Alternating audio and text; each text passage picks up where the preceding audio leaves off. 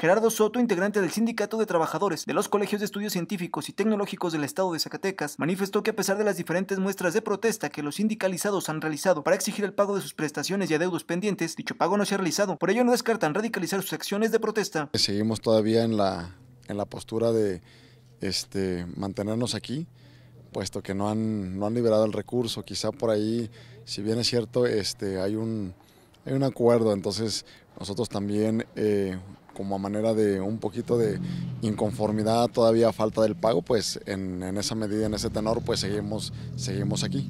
Se mencionaba que el día de hoy posiblemente les realizarían el depósito o de lo contrario ustedes radicalizarían aún más sus acciones de protesta. Sí, eh, bueno, nosotros incluso este, por ahí algunos otros eh, subsistemas también se encuentran en la misma postura, situación que nosotros y eh, exactamente nosotros quizás como medida de este, alterna, pues nos veríamos en la necesidad de estar por ahí acudiendo a las instalaciones de ciudad administrativa.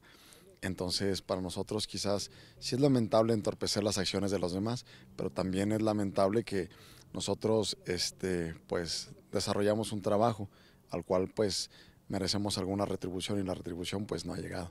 En este sentido, los integrantes de esta organización sindical confían en el hecho de que la resolución de sus principales peticiones y demandas lleguen a la menor brevedad posible. Primera, el reconocimiento este, por parte de las autoridades en la falta del pago.